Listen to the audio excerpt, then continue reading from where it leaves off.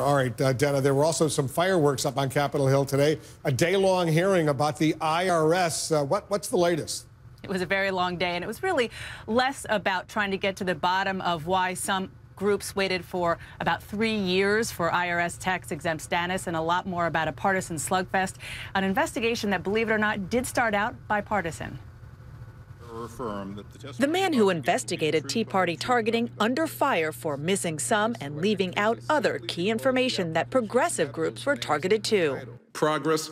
I have no idea what that stands for, sir. Teddy Roosevelt ran for president under the Progressive Party banner. Democrats are hoping to finally debunk the notion that IRS targeting was politically motivated. They got an unexpected assist from the Republican relentlessly leading Congress's probe. Do you know of anyone that you would say, in your opinion, had political motives in the role of treating of Tea Party groups? No, I do not. Two IRS employees gave the same answer. No, sir. After some half a dozen IRS hearings and 16 transcribed interviews, Republicans have no proof of White House involvement in IRS targeting.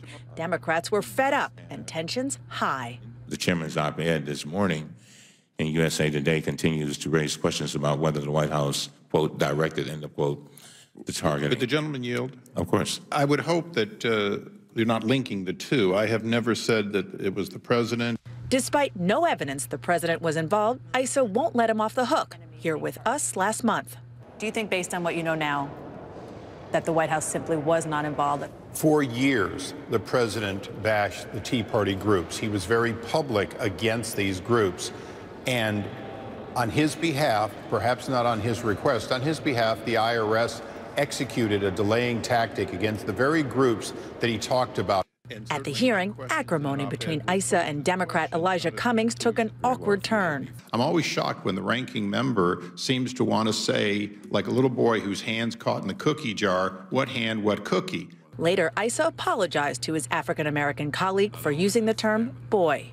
That is something that I grew up with. It is intended to be about a small child, and in no way the use of boy or little boy to be anything else. Thank you very much, Mr. Chairman. I really do appreciate your words.